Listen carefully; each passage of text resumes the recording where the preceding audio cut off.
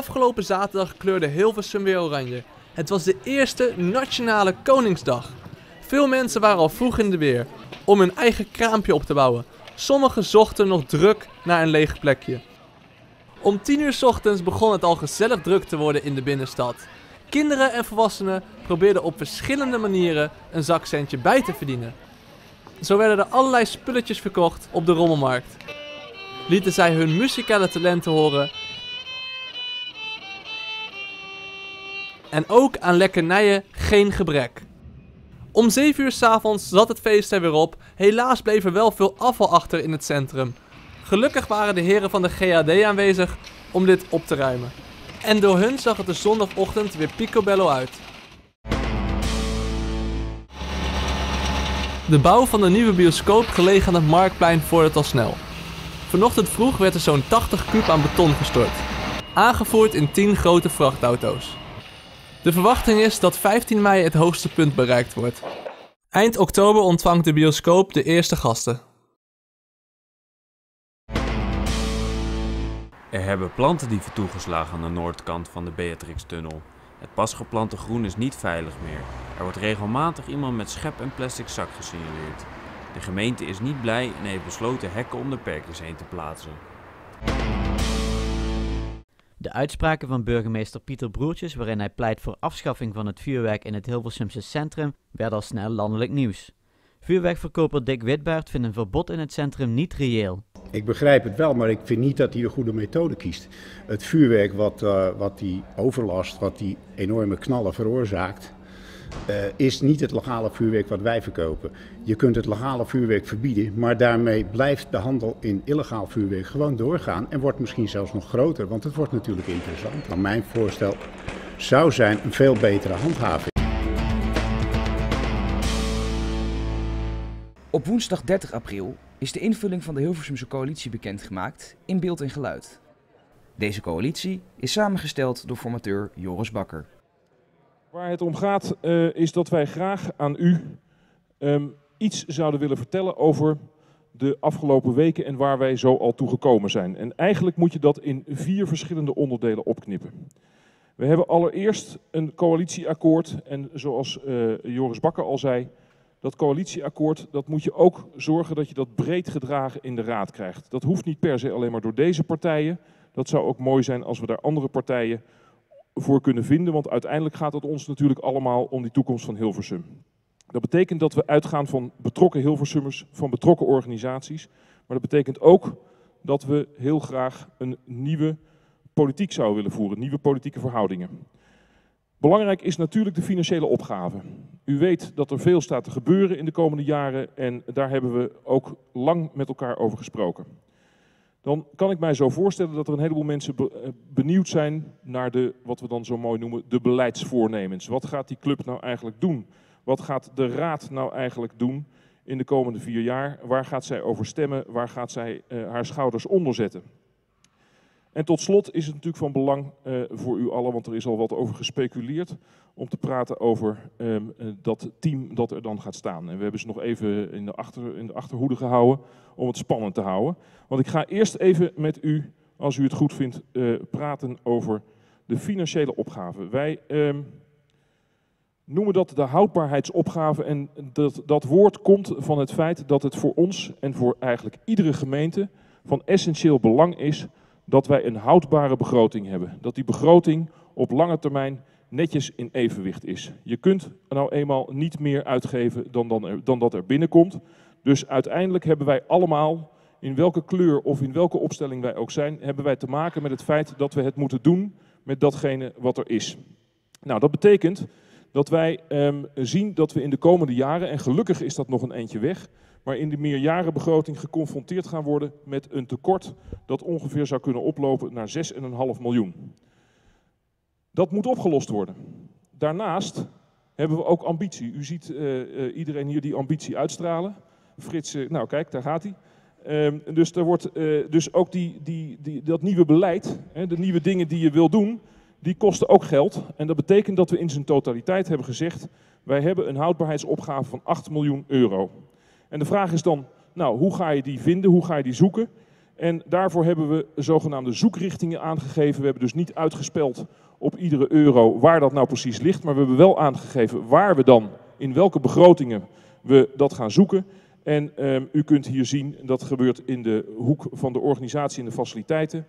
In de hoek van de sociale zaken, zorg en welzijn. In overige programma's. En wij laten een deel vrij om het nieuwe college de opdracht te geven om daar in de komende tijd mee te komen.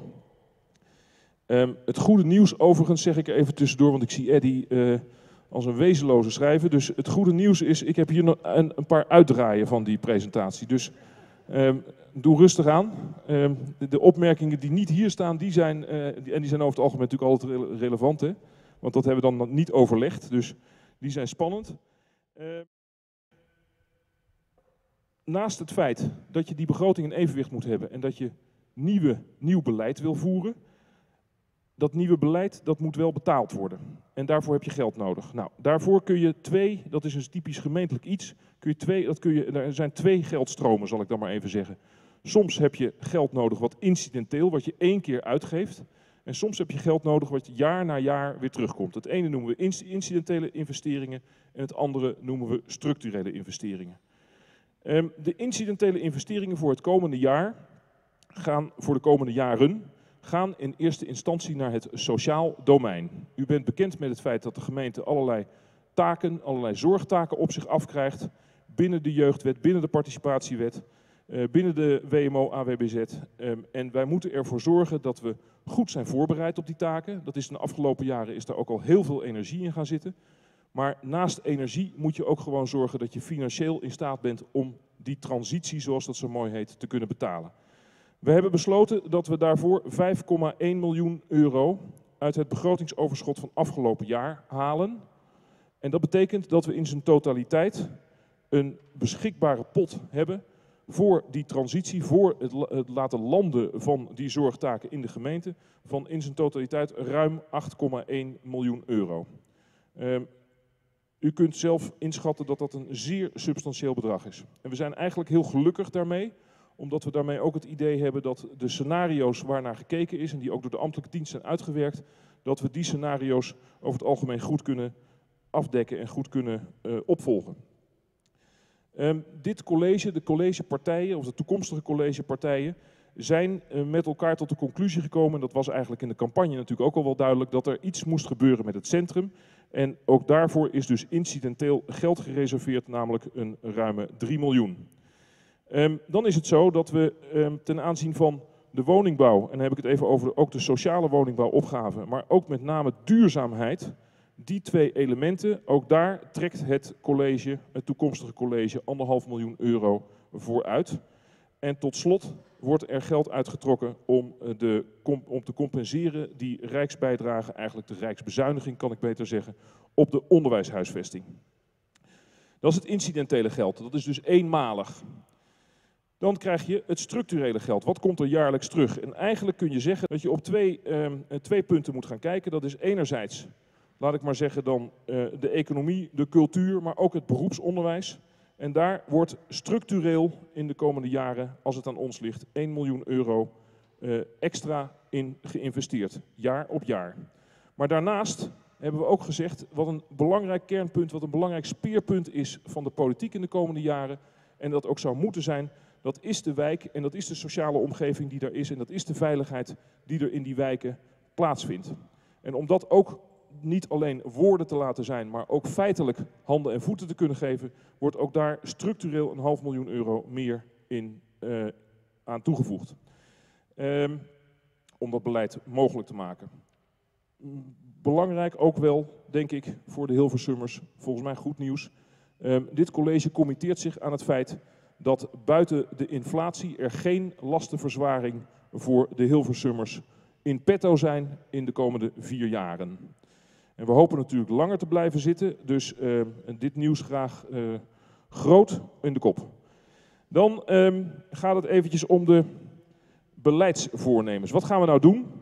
Er zijn een aantal onderwerpen waar we, uh, die u niet zullen verbazen. Maar het gaat natuurlijk over het sociaal domein. Hoe zorg je ervoor dat je die taken waar ik het eerder over had, dat je die uh, goed oppakt, die nieuwe zorgtaken. Zorg ervoor dat dat dicht bij mensen gebeurt. Zo, organiseer dat gedeeltelijk in de wijk waar mogelijk. Zorg ervoor dat dat op maat gebeurt. Um, maar zorg er ook voor dat, zoals wij dat dan noemen, die hervorming die er nu plaatsvindt, zoals we dat dan noemen, een zachte landing krijgt. We gaan niet van de, ene klap, eh, van de ene dag op de andere een klap uitdelen en uh, dit is het. Nee, we gaan erg goed kijken hoe je die overgang uh, zodanig kan doen dat er niemand, geen enkele Hilversummer, uit de boot valt. Um, daarnaast is het zo dat we specifiek aandacht willen voor mantelzorgers en vrijwilligers. En dat alles wel onder de voorwaarde dat ten aanzien van het hele sociale domein de gemeente de regie blijft voeren. En misschien zelfs wel gedeeltelijk een stukje terughaalt van wat er nu is. Kwaliteit en prijs natuurlijk belangrijk zijn, maar we ook op een verantwoorde eh, wijze om moeten gaan met de organisaties die het uitvoeren en de mensen die daar werken. Tweede onderwerp uh, wat eh, voor uh, het toekomstige college erg belangrijk is, is economie en cultuur. En um, dan, het zal u niet verbazen dat wij hier staan. Wij vonden dat dit een, het ook wel een symbolische plek was om aan te geven het commitment wat dit college aangaat met de media.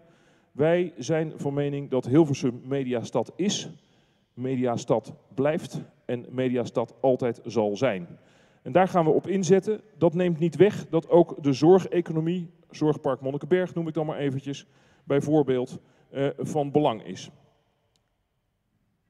Daarnaast is het zo dat je dit soort dingen niet alleen kan doen. Dus het is voor dit college buitengewoon belangrijk dat we ervoor zorgen dat we het samen met mensen doen. In dit geval, als je het hebt over die economie, samen met ondernemers, samen met bedrijven. Dat betekent dat je een aantal dingen moet durven te doen. Je moet minder regels durven te stellen.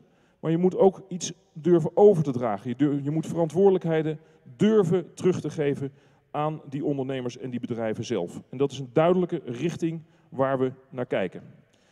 Cultuur en evenementen. Wij vinden dat het wel een tandje beter kan. En we zijn dus ook bereid om daarin te investeren. Ik zeg er dan eventjes uh, als een soort van disclaimer bij. Dat is investeren in de programmering. En dat is niet investeren in de stenen en de het management of anderszins. Tot slot, ik noemde het al, duurzaamheid is absoluut een speerpunt.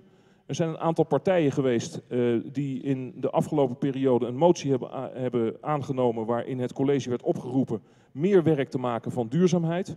Uh, tot nu toe denken wij dat dat nog wel iets beter kan. En laat ik maar zeggen, in de geest van die motie zullen wij de komende jaren echt onze schouders onder dat onderwerp zetten. Ik noemde u al dat het centrum, de binnenstad, voor uh, de partijen erg belangrijk is. Dat betekent dat daar een stevige impuls moet komen en dat wij ook het commitment aangaan dat u over vier jaar feitelijk kunt constateren, zichtbaar is, dat daar echt wat gebeurd is. Het gaat om leefbaarheid. We willen die, dat centrum willen we leefbaar hebben. Het moet een leefbaar centrum zijn. Dat betekent meer evenementen, dat betekent meer cultuur, maar dat betekent natuurlijk ook dat je, laat ik maar zeggen, naar je ruimtelijke ordening gaat kijken, naar je gebouwen gaat kijken, naar je toegang van de stad als je het station uitkomt. Wij zijn uh, uh, die keren dat uh, Joris Bakker met de trein kwam, nog wel eens geconfronteerd met een observatie van iemand die buiten de stad komt. Wij vinden het normaal, maar um, kennelijk als je buitenstaander bent, dan denk je, nou, als dat het welkom van Hilversum is, kan het wel iets beter.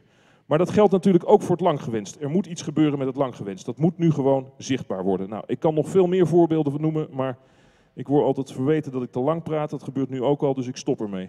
Um, concentratie van winkelgebieden tot slot, belangrijk, omdat je moet zorgen dat je die leegstand niet alleen aanpakt door dat je goed gaat kijken welke nieuwe ondernemers er terecht kunnen, maar we moeten ook de eerlijkheid hebben om te zeggen dat de leegstand uit zichzelf niet helemaal meer oplost. Dus je moet ook kijken in hoeverre je dat wat meer kan concentreren.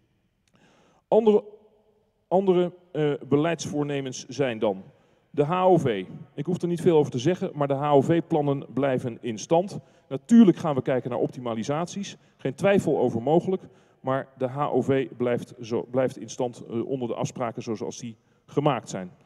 Um, wij willen heel specifiek kijken naar betere verbindingen uh, uh, bij, binnen de, de, natuur, de natuurlijke omgeving die we hebben, de verschillende bossen en hei enzovoort enzovoort, om te kijken of we daar toch niet wat meer uh, op kunnen inzetten om dat nog wat beter te verbinden. Ten slotte zijn wij de, de, laten we maar zeggen, de groene oase tussen Amsterdam, Utrecht, Almere en Amersfoort. En dat moeten we koesteren en versterken. Ehm, er is geconstateerd dat we wel een aantal knelpunten hebben met betrekking tot bijvoorbeeld eenrichtingsverkeer. Um, u hoort hier niet de belofte van dit, uh, van dit college dat er een soort van nieuw uh, bereikbaar, bereikbaarheidsplan 2 komt of iets dergelijks. En dat we weer uh, met honderden miljoenen gaan kijken hoe we de stad um, kunnen openbreken. Maar tegelijkertijd moeten we wel zo reëel zijn dat er op een aantal plekken echt knelpunten zitten. Dat kan onder andere zijn door eenrichtingsverkeer en dan moet je dat ook durven op te lossen. Um, tot slot denk ik dat het belangrijk is om te, zeggen dat we inzetten op openbaar vervoer. Dat is al duidelijk door de HOV. Maar tegelijkertijd is die HOV, laten we maar zeggen, de wat grootschalige, de bovenregionale of de regionale uh, vervoer. En we moeten niet vergeten dat we ook in de stad kleinschalig uh, um, en in de haarvaten van de stad zou ik haast zeggen, uh, dat we daar vervoer hebben. En een van de uh, mogelijkheden die dan ook nog specifiek met vervoer voor, voor, specifieke doelgroepen te maken heeft, is de buurtbus.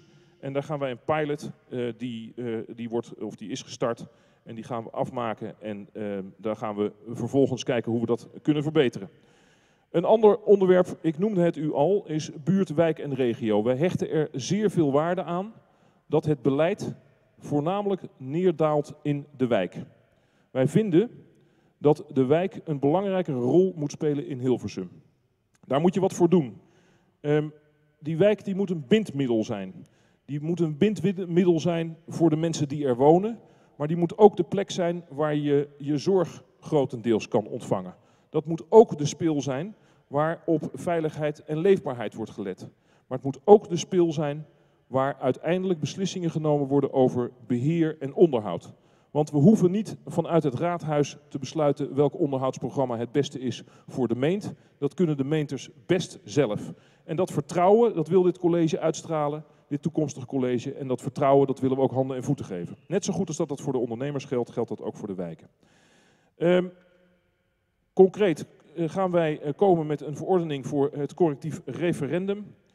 Uh, ik zeg erbij, dat is een referendum dat op initiatief van bewoners plaats kan vinden. En wij gaan heel nadrukkelijk sturen op de, zoals dat zo mooi heet, de centrumfunctie van Hilversum.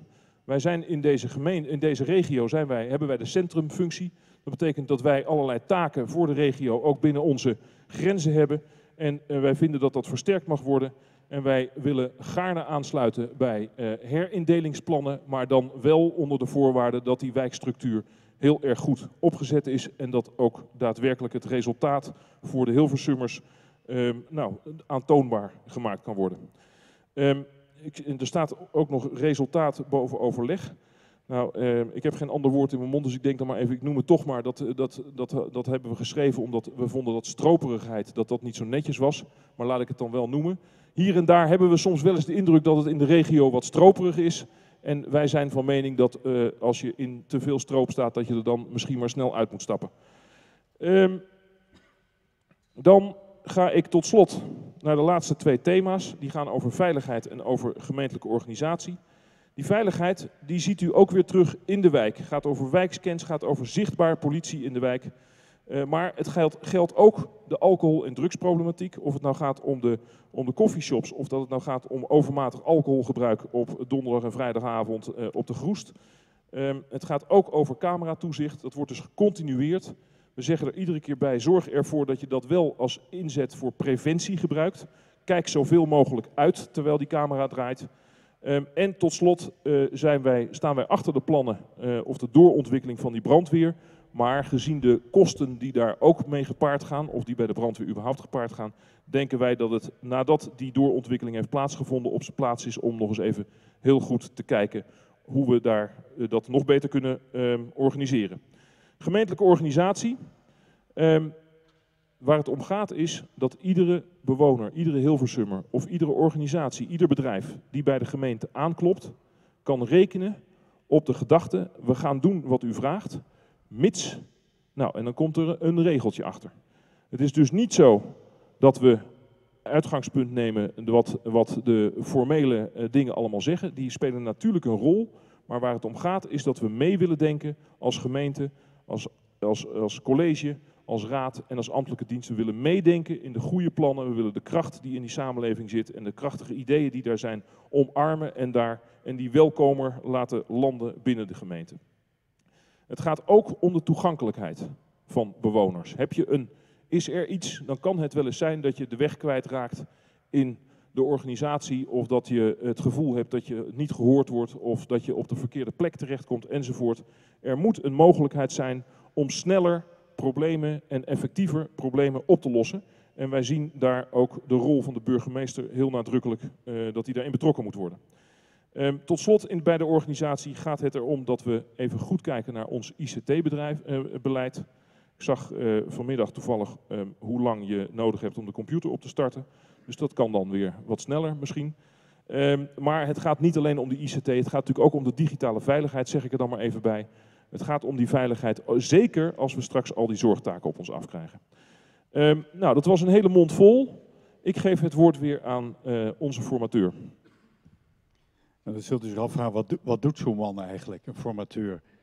Um, die bewaakt voor een heel groot deel het proces, omdat er dan iemand is om tegen te praten. En ook iemand is om tegen te zeggen wat ze tegen de anderen niet zeggen. En dat kan je dan uh, vervolgens uh, in de goede zin weer gebruiken voor de voortgang. En nou is er één voorrecht, uh, en dat is de laatste keer dat ik dat voorrecht heb. Ik kan ook bijvoorbeeld zien dat er een onderwerp in de haast door wie maar is overgeslagen. En dat is het onderwerp wonen. Onderwerp wonen, tenzij ik niet heb opgelet, onderwerp wonen is toch wat veel tijd aan besteed. Omdat dat, natuurlijk ook een onderwerp is waar politiek verschillende over gedacht is. En er zijn een aantal conclusies. Er komt een woonvisie, uh, een inventarisatie van de woningbehoefte en voorraad. Er, zijn prestatie, er komen prestatieafspraken over de doorstroming, leegstand, scheef wonen, duurzaamheid. En een uh, opgave tot in elk geval 100 extra sociale woningen te bouwen, waaronder een corporatiehotel punt denk ik dat niet onvermeld mag blijven als ik me de discussies herinner. Nou, dan kunnen we overgaan. U kunt dit allemaal straks, niet nu, maar wanneer het beleidsakkoord geheel af is, alle punten en komma's zijn gezet, want daar gaat het nu alleen nog over.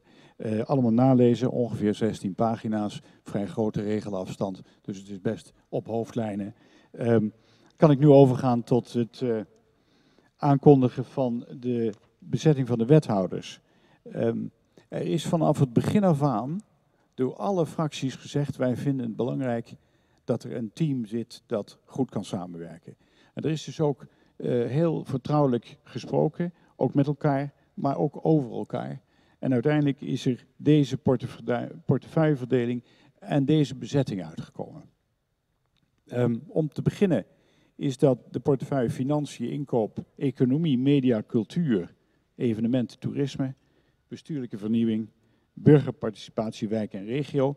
En die portefeuille zal worden bezet door Wiemar Jeger, zoals u die net heeft uh, uh, gezien. Dat is ook de enige die kan blijven staan, want dat is de kleine regierol die ik hier ook nog heb. Ik zou de wethouders willen uitnodigen om hier te komen staan. Dan geven we wel al meteen uh, weg wat er gaat gebeuren, maar dan hebben we ook meteen dat visueel in beeld gebracht. Uh, Nicolien, ja. Um, de andere wethouder, die kent u. Dat, dat is de wethouder die doorgaat. Uh, en ook voor het allergrootste deel in de functie. Onderwijs, jeugdzorg, zorg en welzijn, gezondheidszorg en coördinerend wethouder sociaal domein Erik van der Band. Dan is er de wethouder ruimtelijke ordening, vergunningverlening, handhaving, coördinerend wethouder binnenstad, bereikbaarheid, verkeer, beheer openbare ruimte, sport en recreatie, gemeentelijke dienstverlening en PNO Floris Voorink van de VVD. Dus we hebben nu al uh, twee smaken gehad, twee D66'ers, één VVD'er. En dan loopt de spanning natuurlijk nu op, want op sociale zaken, participatie, arbeidsmarkt en werkgelegenheid, onderwijs, mbo, hbo, Arjo Klamer namens de SP. Volgens mij ook een bekende Hilversummer, maar als lid van het college nieuw. Dan uh, een andere Hilversumse uh, op de portefeuille wonen, grondzaken, natuur, milieu, duurzaamheid, monumentenzorg, Nicolien van Vroonhoven. En dan hebben we daarmee, uiteraard, de burgemeester blijft, uh, burgemeester Pieter Boertjes, Openbare orde en veiligheid, communicatie en bestuurlijke aangelegenheden. Blijft daarmee doorgaan, maar is er nu niet vandaag. Uh, daarmee is het nieuwe college uh, aan u voorgesteld. Wordt op 7 mei aan de Raad voorgesteld. Dat is uiteraard aan het hoogste orgaan om te beslissen of al deze ambities ook werkelijk vervuld zullen worden, zoals we ze nu hebben afgesproken. En dan denk ik dat daarmee mijn taak erop zit. Um, mocht u vragen hebben, maar de regie daarvoor is niet voor mij.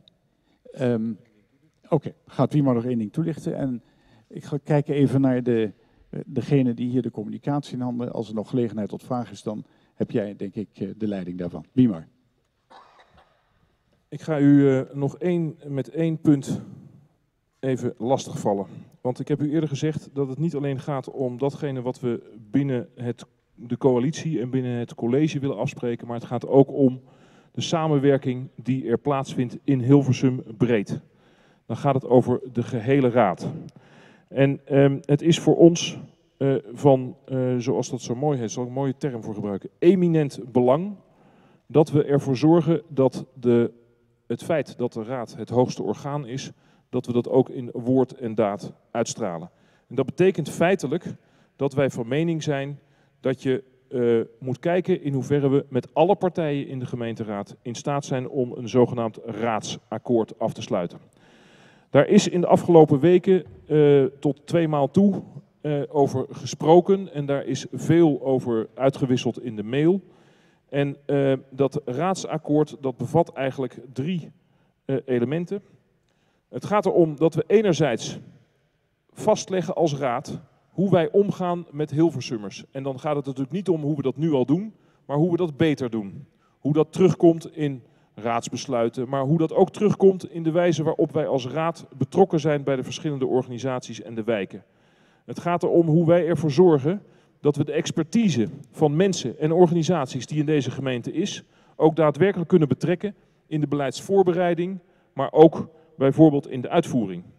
Het gaat erom dat je je afvraagt hoe zorg je ervoor dat die wijk daadwerkelijk uh, leven krijgt en zich uh, de verantwoordelijkheid en de taken op zich kan nemen die misschien normaal gesproken wat meer bij de gemeente lagen. Het gaat ook om iets anders. Het gaat ook om politiek bedrijven. Politiek bedrijven met elkaar, zonder dat we elkaar, laat ik maar zeggen, in het genot van het politieke spel verliezen en dus meer bezig zijn met, de met het politieke debat dan met daadwerkelijk de resultaten voor Hilversum. En daarom zeggen wij, ga nou niet kiezen als coalitie voor een dichtgetimmerd akkoord, maar wees bereid om de, om de Raad ook daadwerkelijk die rol te geven die zij moet hebben. En dat is dat ze over al die uh, onderwerpen wat kan zeggen en dat daar ook invloed op heeft. Dat betekent dat we kiezen voor een systeem waarbij ruimte is voor een heel aantal vrije kwesties, zoals wij dat noemen. En die vrije kwesties, die lossen we op door wisselende meerderheden. Tot slot willen we als college, en dat stellen we dus voor om dat gezamenlijk met die raad te doen, dus het gaat er ook om dat het breed gedragen wordt, willen we ervoor zorgen dat de politiek in staat is om ook daadwerkelijk zichtbaar dingen te realiseren. Zichtbaar dus niet op al te lange termijn. Een plan voor nu is hartstikke leuk, maar als dat vervolgens na twintig jaar pas uitgevoerd wordt, dan is het wat lastiger om het besluit en de realisatie met elkaar te koppelen. Dat willen we verbeteren. Daar hebben we een aantal voorstellen voor. En in die verbetervoorstellen is het de bedoeling dat nadrukkelijk ook alle partijen die in de raad vertegenwoordigd zijn, betrokken zijn. Dit raadsakkoord uh, is op dit moment als nieuw concept weer naar alle raadsleden toegestuurd. Um, daar wordt nog een keer een slag over gedaan. Iedereen die gaat daar nog een keer naar kijken en levert daar zijn of haar commentaar op. En dat raadsakkoord wordt aan de raad ter besluitvorming voorgelegd volgende week woensdag 7 mei. Rest mij uitsluitend en alleen nog José te vragen om de regie volgens mij over te nemen.